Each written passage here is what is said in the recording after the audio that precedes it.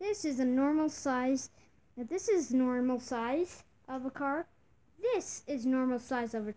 This is normal size, and this is not normal size. This is not normal size.